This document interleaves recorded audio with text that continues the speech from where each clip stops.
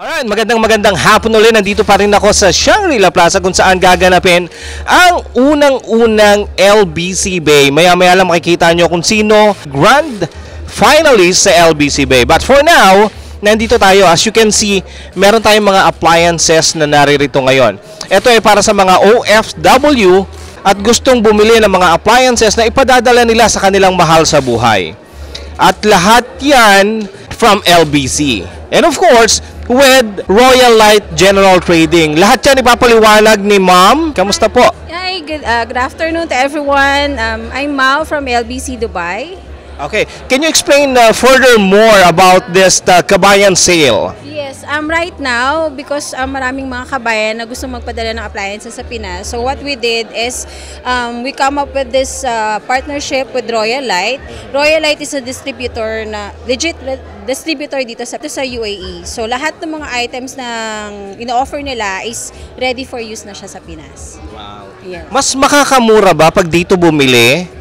Hindi na ba magkakaroon ng tax or additional uh, hidden charges pagdating sa Pilipinas? Actually po, nag-market uh, price survey kami. So, na-check namin na talagang mas murang bumili dito compared dun sa Philippines. At the same time, yung, yung um, project na to is um, all-in rates na siya. Ibig sabihin, dito manggagaling yung appliances and then direct shipping na siya sa Pinas. Yan.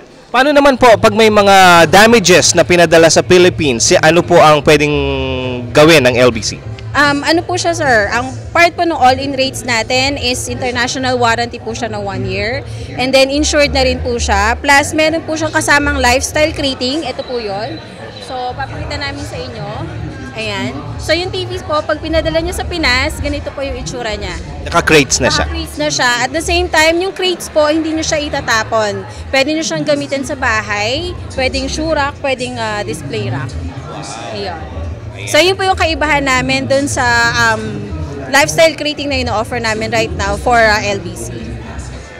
Um, mga kabayan, available po ang kabayan sale namin hanggang Nove- November po yan. So all-in rates po siya. Yung all-in rates natin, that is inclusive of the unit, brand new, shipping fee, um, insurance, crating, and international warranty po. So wala na po kayong uh, alalahanin, hindi na kailangan pumunta sa ibang uh, shop para lang bumili. So sa LBC, nandun na po lahat ng kailangan nyo. So pipili lang po kayo kung anong gusto nyong item and then isi-ship na po namin siya sa Pinas.